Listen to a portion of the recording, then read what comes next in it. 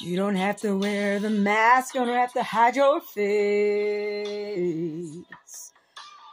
You were never meant to stand in darkness all alone.